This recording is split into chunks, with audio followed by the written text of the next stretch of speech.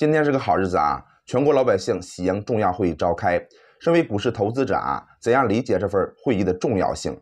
一大波写上字的利好即将出现的前提下啊，A 股市场下周又会何去何从？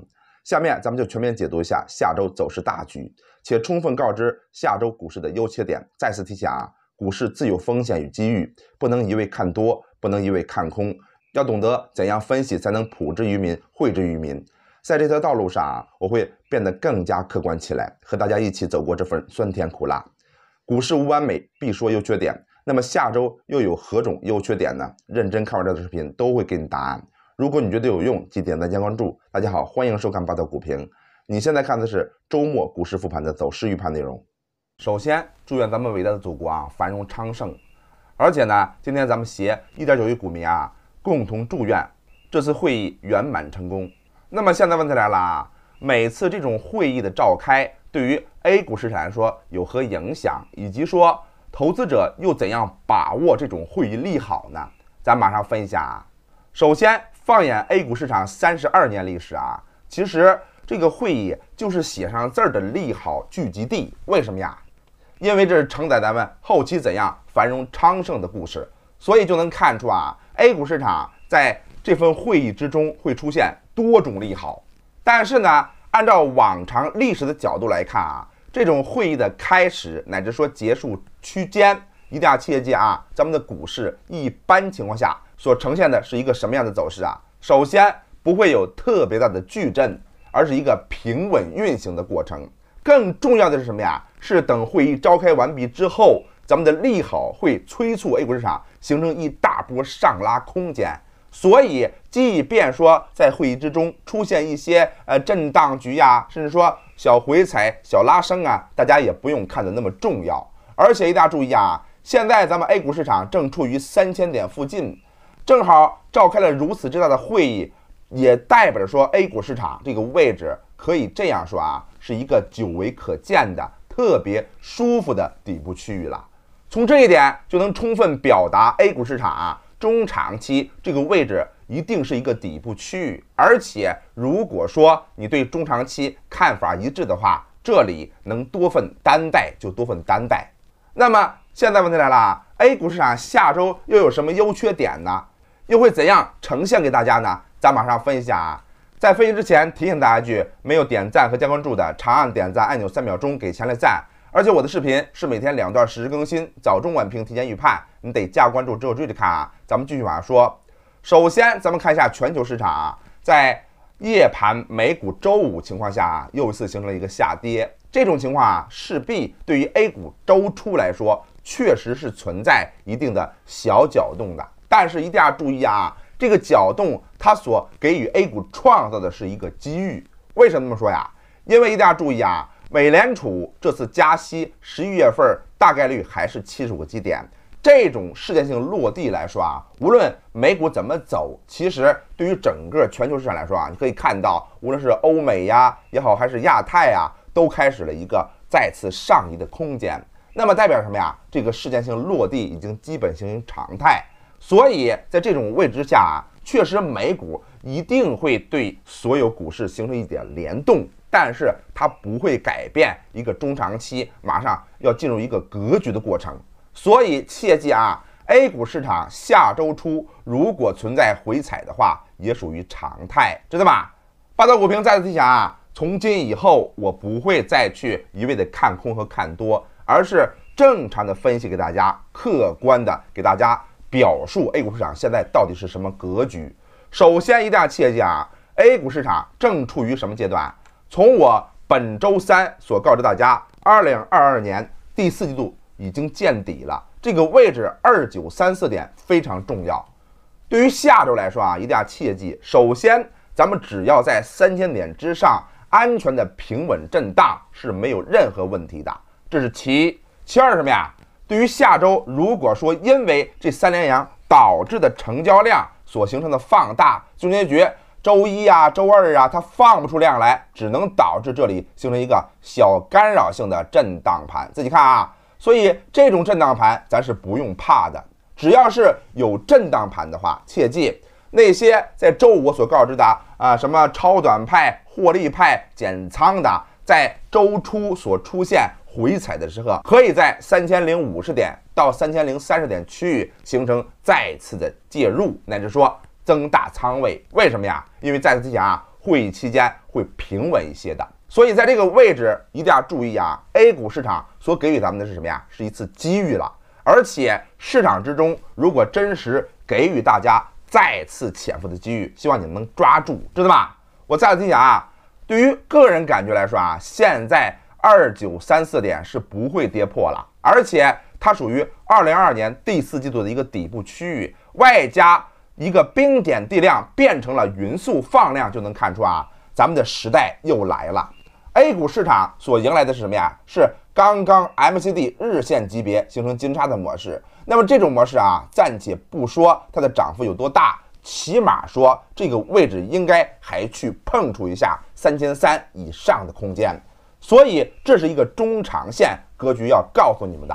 但是说完了中长线所高兴的事情，咱们必须告知超短派现在所面临的一些优缺点啊。大家一边听我讲，一边去评论区写一个六六六啊，全都去啊！这个评论对我很重要，大家都帮忙。咱们继续往下说啊。首先，大家注意啊，A 股市场的走势涨跌属于轮换正常方向，所以如果说因为四连阳出现了周初的一个回踩，刚才我已经说了啊，属于正常。而且现在这个格局来看啊，下周初，比如说周一如果再去拉高的话，就容易形成一个。阶段性的小回踩模式，为什么呀？因为下周初不一定还能放出像周五的成交量，知道吧？所以在没有量的情况下，刚刚形成金叉的情况下，确实有可能会存在一个洗盘的空间。何为洗盘呢？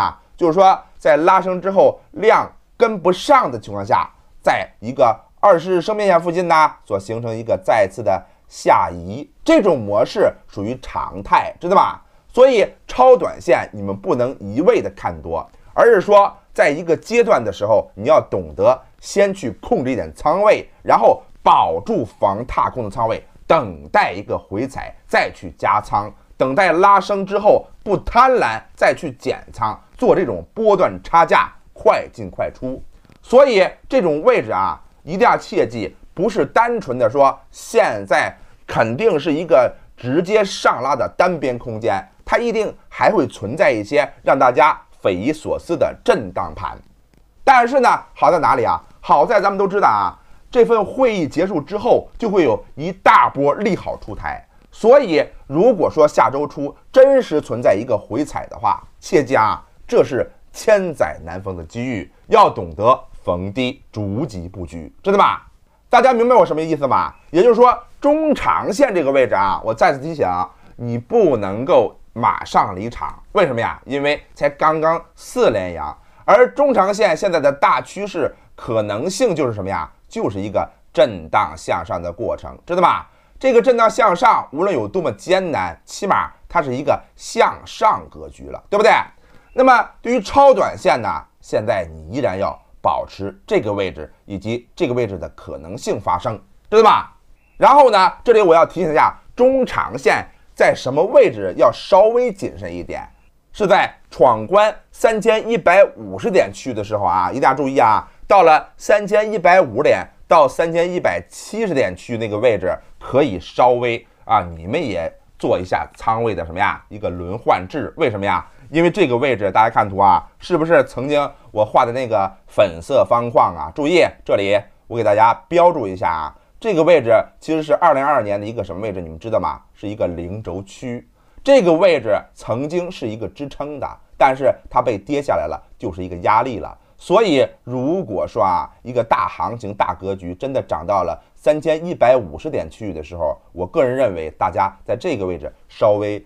冷静一点，不要特别的什么呀冲动就可以了。而超短派呢，也一定要切记啊。现在所告知的下周初这个小回踩，大家不用特别担心。最担心的是什么呀？是三千一百五到三千一百七那个位置，大家稍微呀要谨慎一点。我个人认为，你们可以控制一下仓位，来等待这个位置到底能不能登上去的过程，或者说有概率会有一个回踩呀再次拉升的过程。所以今天我必须要告诉大家啊，现在 A 股市场我不会再去一味的看多了，而是给予大家充分的理解以及参考性啊。那么截止目前为止啊，我可以告知大家了啊，对于一个趋势来看啊，现在咱们面临的最大压力位在哪呀？在三千一百五到三千一百七十点区域。所以说这个位置在没有来临之前，中长线是可以进行安心的潜伏的，而超短线呢？在下周初，如果说再有一个上拉的话，要小心会有一个小波段。你们如果有能力的话，可以做一下高抛低吸，但是谨防踏空，切记啊，这里不要最终结局啊，把仓位弄没了，然后踏空了。